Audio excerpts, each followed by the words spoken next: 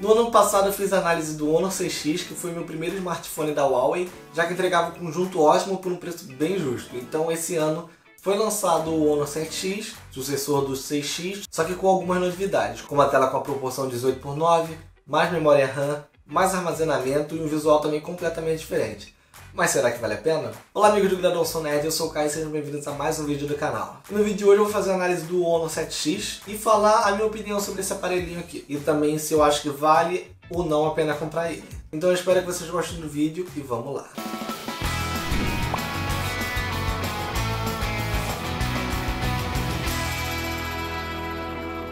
Então antes de tudo, se você não está inscrito no canal, clica aqui embaixo para se inscrever e clica também no sininho para receber as notificações quando sair vídeo novo. E além disso também, o link para comprar o Honor 7X vai estar tá aqui na descrição. E comprando por lá você me ajuda muito. Começando pelo visual, cara, ele tem um visual que eu gosto muito, tem um corpo de alumínio, pintado de azul e é extremamente bem acabado, eu acho lindíssimo esse acabamento da, do Honor 7X. A pintura fica muito bonita e eu realmente gosto de celular que tem cor de alumínio, que eu acho que é, esse efeito fosco, brilhante, fica muito bonito. Mas voltando para o design, ele mantém aquele padrão dos celulares hoje em dia, que é botão de força e volume na direita, a bandeja do SIM na esquerda, alguns sensores, microfones, esse tipo de coisa espalhados pelo corpo. Atrás tem a câmera dupla, o flash e o leitor de impressões digitais, além de mais coisas escritas, só que são bem discretas. E além disso também tem duas linhas horizontais que dão um chama mais no visual ali da traseira. E embaixo tem apenas uma entrada micro USB, a entrada para fone de ouvido e também um alto-falante. E por último, na frente tem só a câmera frontal, o alto-falante de chamadas e a logo da Honor aqui embaixo. E todo esse corpinho acompanha um processador Kirin 659, que é mais ou menos equivalente ao Snapdragon 625 da Qualcomm. Também tem 4 GB de RAM e 64 GB de armazenamento. E como sempre, o acabamento e a qualidade de construção celular é impecável. A Huawei é realmente muito boa nisso. Ela sempre faz um ótimo trabalho. E com o Honor 7 não é diferente. Ele é, ele é sólido, sabe? Ele é gostoso de segurar, não parece frágil em nenhum momento. Quanto a algumas escolhas de design, eu não fiquei tão feliz. Eu realmente não me importo com a logo aqui na frente, mas eu sei que algumas pessoas se importam, acham feio quando a marca quer aparecer tanto assim e bota na frente logo. Mas para mim tem alguns outros detalhes mais importantes que eu acho que eles erraram. E já começa com o leitor de impressões digitais, porque como vocês veem aqui, toda vez que eu tento botar o dedo no leitor de impressões digitais eu não consigo, porque eu tenho que puxar meu dedo mais para cima. Porque quando eu pego o celular normalmente minha mão tá assim, e simplesmente não alcança, porque está muito alto isso daqui. Então, a menos que você tenha o dedo muito comprido, você vai ter que pegar ele de um jeito diferente na hora ou ajeitar o celular para você conseguir desbloquear. Não que seja algo impossível, mas na usabilidade muda um pouquinho ali e acaba sendo um ponto negativo. E comparando aqui com o OnePlus 5T, dá para ver que tem uma diferença entre os dois. E isso acaba fazendo a diferença no uso porque eles prometeram que ia ter o desbloqueio facial no Honor 7X, mas eu nunca vi chegar. Inclusive tem no site eles anunciando isso, achei bem esquisito, porque no site eles anunciam que vai ter isso e nada. E quanto ter entrada pro fone, é, isso daí é realmente ótimo, porque tem muita gente que gosta disso, sente falta, mas pô, micro USB é sacanagem, né? Eles podiam muito botar uma USB tipo C aqui, mas botando um micro USB me Cara, por quê, né? Isso não faz sentido. Te obriga a ficar na contramão da tendência da tecnologia. Te obriga a carregar mais um cabo por aí se você tiver outras coisas atuais. Já que tudo converge pro USB tipo C hoje em dia. E quanto ao design é isso, eu até poderia ficar incomodado com as câmeras saltadas aqui, mas eu não me importo muito porque elas têm uma proteção boa.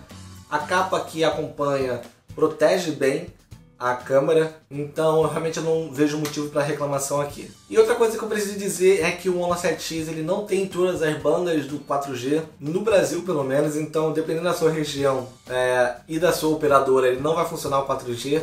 No meu caso, eu sou do Rio de Janeiro e uso o Nextel e aí o 4G dele tem a banda no Honor 7X, então funciona normalmente. Então, se você quiser comprar, você vai ter que verificar aí se a banda que você tem na sua operadora bate certinho. Dito isso, eu quero falar um pouco sobre o sistema do Honor 7X, que é a EMUI, uma, uma versão do Android que é bastante modificada pela Huawei. E como eu já disse em outros vídeos, até mesmo no vídeo do Honor 6X, esse sistema me divide bastante, porque ao mesmo tempo que eu acho que a proposta é bem legal, assim como o sistema da Xiaomi, a MIUI. Eu acho que ele tem uma proposta muito bacana, muito legal, essa mistura de elementos do iOS com elementos do Android, mas eu acho que eles acabam se perdendo muito nisso. Eu, por exemplo, amo a barra de configurações rápidas e também de notificações da MIUI e além de achar bonita, eu também acho bem funcional. Apesar da MIUI ter a proposta de organizar todos os aplicativos direto na parte principal, que nem o iOS tem, tem como ativar a opção de ativar a gaveta dos aplicativos. E ainda assim, quem não quiser usar essa opção, quiser de outro jeito, pode baixar outros launchers, como por exemplo o próprio Novel Launcher que eu uso principalmente por ter um backup rápido das configurações. O meu problema com o sistema é basicamente o fato de que eu tenho a sensação de que ele é mais pesado do que ele deveria ser. Eu tenho o sentimento que ele é muito mais pesado do que deveria ser. Ele tem alguns problemas de tradução por aí, é uma parada bem bizarra, mas não é algo que me incomoda particularmente. Mas eu também não sei se meu gosto mudou desde o Honor 6X, mas eu não aguento mais ver esses ícones da EMY porque eles são absolutamente feios. Eles são grandes e horrorosos. E isso pode ser corrigido com, usando um tema, usando um launcher, trocando os ícones. E até na própria loja de temas da EMY tem muitos temas que melhoram muito isso, deixam muito bonito. Teve até um tema que eu achei que realmente gostei e que ficou bonito. Mas eu acho muito mancada vir um sistema já tão feio de, logo de fábrica. Você já dá de cara com um sistema muito feito e tem que pesquisar para deixar ele bonito.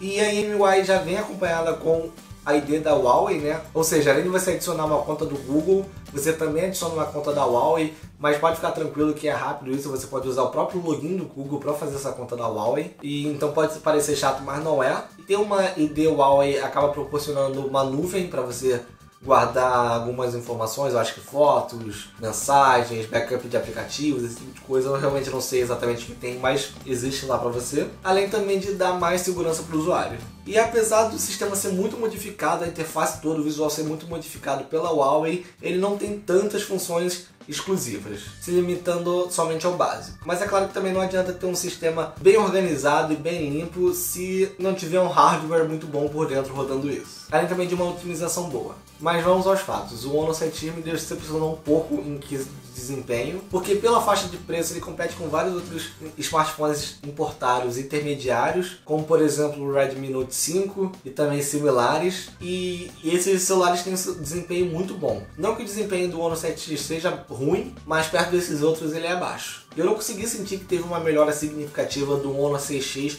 pro Honor 7X. Não, não pareceu ter muita mudança de desempenho. E, e, e o próprio Honor 6X já não tinha desempenho tão ótimo quanto do Redmi Note 4, por exemplo, que eu também tive. E quanto aos jogos, ele é realmente um intermediário. O PUBG, que é basicamente um dos jogos que mais jogam hoje em dia, rodou bem, no mínimo, rodou praticamente sem travar. Eu senti alguns lags quando eu dirigia muito rápido pelo mapa, porque tinha que carregar muita coisa mas no geral rodou muito bem. A tela grande é boa, inclusive, para jogar. Mas outros jogos mais leves do que PUBG, do PUBG para baixo, tudo rodou muito bem, eu não senti lag nenhum, nenhuma experiência ruim na hora de jogar. O multitarefas do Honor 7X pode ficar parecendo bem pesado a cada aplicativo que você coloca, dependendo do aplicativo que é, e dependendo de quantos você abra, então pode acabar ficando um pouco mais lento por isso. Não no uso em si, mas nas animações, as, as animações ficam muito mais pesadas, demora para trocar de um pro outro, assim, dá um, uma queda de frame ali na hora da animação. Mas a resposta do celular continua sendo boa, você consegue usar, mesmo que tenha essa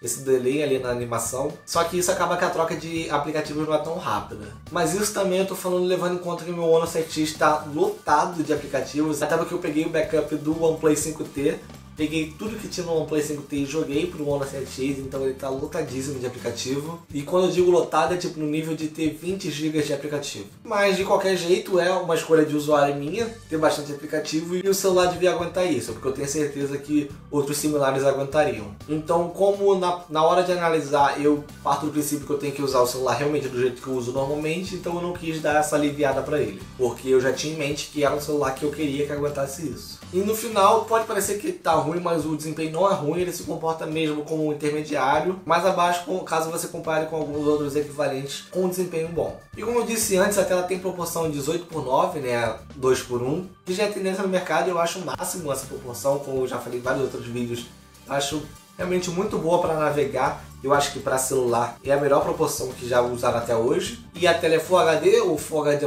como chama, que é basicamente espaço a mais da proporção. Além também da tela CLCD. E ela é boa, é agradável, não, não tem nada a reclamar aqui. Além do fato talvez de que no sol ela fica um pouco difícil de ver e faltou aí um pouco de brilho nessa parte. Mas de resto a tela é bem padrão, é aquele LCD padrão mesmo. No quesito som, a Huawei já surpreende ali em mandar um fone incluso na caixa, o que não é tão comum. Mas tem uma coisa a ser falar sobre isso, porque como a placa de áudio do Honor CX não é tão boa, o fone acaba sendo nada além do que razoável razoável para ruimzinho. E isso também acontece com outros fones. Isso pode ser até diminuído com o equalizador que tem lá, já que você pode equalizar de um jeito que fique melhor a qualidade do som ali, os, as frequências do som. E eu vou conseguir até chegar ali num som que tá um pouco mais agradável para mim, que tá mais legal de ouvir mas continua sendo razoável. E o fone também já tem controle de volume e de play e pausa integrado no cabo, também já facilita na usabilidade. Mas quando é para falar de alto-falante que complica de fato, porque eu achei ele bem ruim. Ele praticamente não tem grave, a música fica sem alma, jogada lá sem alma, e ele fica com bastante distorção.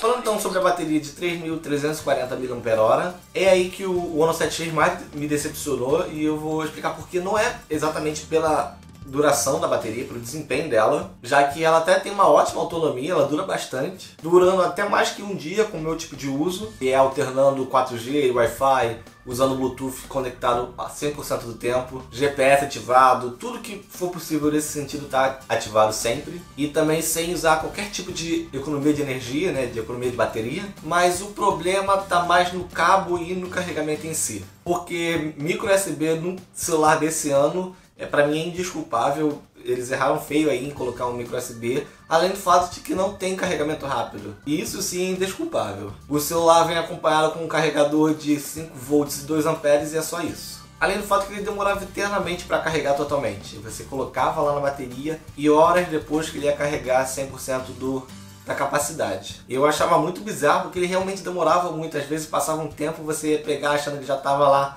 os 80% pelo menos e tava no 40% aí, no 50%. É bizarro isso no celular desse ano. Principalmente o celular importado, que teoricamente já tem as coisas mais avançadas um pouco, só que com um preço mais baixo. E aí eu me sentia praticamente em 2014 toda vez que eu tinha que pegar um celular para carregar, porque celular sem carregamento rápido hoje em dia não dá. Ainda mais também com uma capacidade grande dessa. Eu também falo isso porque outros concorrentes da mesma faixa de preço ali já tem carregamento rápido, então não é desculpa para não colocar. E por último, talvez as coisas que as pessoas mais se importam em comparar hoje em dia, em analisar hoje em dia, é o sistema de câmeras. Ele tem uma câmera traseira de 16 megapixels, outra de 2 megapixels e a frontal de 8 megapixels. E o aplicativo de câmera é o mesmo de sempre, aquele aplicativo bem completinho da Huawei, e eu acho ele bem legal, bem completinho e fácil de usar. E se tem uma coisa que me impressionou nesse celular foi o foco, porque o foco é muito rápido, você tira do bolso, abre a câmera, beleza, você clica para focar e já focou. É muito rápido mesmo. E isso às vezes é legal para quando você quer tirar uma foto rápida, porque já aconteceu muito de eu querer tirar uma foto rápida, puxar o celular, tirar a foto e depois quando for ver, ela tá desfocada. Mas a propósito, a câmera ela não abre tão rápido assim também. É um tempo aceitável para conseguir abrir até tirar foto, o foco é rápido, mas ela não é tão rápida. E os exemplos de imagem que vocês vão ver aí na tela dá para entender melhor o que eu estou falando, ter uma noção melhor das fotos. O sensor de megapixel serve simplesmente para captar alguns detalhes de a mais de informações, como por exemplo a informação de profundidade que teoricamente ajuda no modo retrato dele. As cores das fotos acabam sendo bem naturais, né, bem parecidas com a realidade mesmo. E isso acaba indo de gosto se a pessoa acha bom ou acha ruim, porque tem gente que gosta um pouco mais saturada para deixar um pouco mais bonita a foto. E o balanço de branco também é bem eficiente, a foto acaba saindo bem como está a realidade mesmo no, no dia. Uma coisa que eu achei que a câmera peca muito é a exposição muito errada no modo automático. Então sempre que você vai tirar uma foto assim no sol, você tem que dar uma uma mexidinha ali porque ela vai estourar as partes mais claras. E ela não consegue fazer essa exposição certo. E apesar disso, a foto também tem uma nitidez até que bacana. O HDR até que faz uma diferençazinha ali, né, dependendo da situação, mas não é nada demais. Mas eu acho difícil você acabar usando ele porque ele tá num lugar muito ruim para selecionar, ele tá no menu específico para ele, e você tem que puxar pro lado, selecionar o HDR, e isso é um saco. Para no final nem ficar tão diferente assim. As fotos em baixa luz e fotos noturnas são ok, pelo menos posso considerar ok pelo preço. Aí, assim como as outras fotos, ela também acaba tendo uma nitidez mais elevada, o que acaba tornando a, a quantidade de ruídos na foto muito maior e mais notável, mas eu até que gosto disso. Eu prefiro a foto com mais nitidez um pouco do, do, que a foto sem ruído, mas toda lavada. E de qualquer forma, se você tiver um tripé, você pode se aventurar com os modos diferentes que tem de baixa luz, como por exemplo o modo de rastro de carros, que você consegue fazer aquele rastro das lanternas dos carros. Eu não sei porque tirar aquele modo noturno que tinha antigamente, que nem não tinha no Ono 6X, que era bom demais, você deixava o celular parado no tripé e a foto ficava com uma qualidade muito boa, mas até que dá para conseguir um resultado parecidinho ali. E por fim, vamos falar da câmera frontal e do modo retrato. Eu sinceramente não gostei do modo retrato da câmera traseira. Fica bem ruimzinho, as cores ficam muito esquisitas. O recorte também não fica tão bom. O recorte não fica tão bom, além de também continuar com problema de exposição das fotos. E já na câmera frontal, que é totalmente software, né, que faz o modo retrato, eu já gostei mais. Eu achei que fica mais natural, o recorte fica melhor. E não só o recorte, como todas as características ficam mais naturais um pouco, não fica tão exageradas. Como por exemplo o efeito de claridade que tem na câmera traseira do modo retrato, que fica, eu acho, na minha opinião, fica muito ruim. E na câmera frontal não tem isso. E além do fato também que a câmera frontal também tem um problema de fazer a exposição errada, só que como fica tudo mais natural, essa exposição errada fica mais agradável, fica menos notável e não chega a estragar a foto. E no geral a câmera frontal eu gostei bastante. Ela tem uma nitidez ok, umas cores ok. E no geral eu gostei bem dessa câmera de selfie, porque como o próprio nome diz, ela serve para o propósito dela, que é tirar selfie, e para isso ela cumpre. O ângulo dela é aberto bastante para você conseguir tirar uma foto com outras pessoas até, sem ter que esticar muito o braço. Você estica o braço um pouquinho, aquele normal, aceitável, você já consegue tirar pegando bastante gente na foto, que é legal. E as cores também são bacanas, a nitidez é ok, a foto toda fica bem ok é, podendo você editar depois se você quiser ou simplesmente postar em algum lugar, já que ela sai bem neutra. E quanto a vídeo, ela grava 1080p a 30 fps e, também continua com foco extremamente rápido, mas pelo fato de não ter qualquer estabilização, se você andar vai ficar ruim, porque ele vai começar a mostrar os defeitos da, da câmera de vídeo dali, mas se você ficar parado é, e só filmar alguma coisa parado mesmo, é, fica uma qualidade ok até, fica uma qualidade boazinha. E além do fato que ela não sofre tanto com a exposição de luz que nem nas fotos. E no final o Ono 7X tinha tudo para ser uma ótima opção, eu gostei bastante do Ono 6X, mas tinha tudo para ser se não fossem as outras opções de celulares que tem o preço parecido ou até melhor e acabam sendo superiores, principalmente com desempenho, porque os outros celulares têm, acabam tendo um desempenho muito melhor. No geral, isso faz bastante diferença. E ele possui boas câmeras, a qualidade de construção é excelente, não podia ser melhor, na minha opinião. Só que ele peca no básico e, pra mim, acaba não valendo muito a pena no final.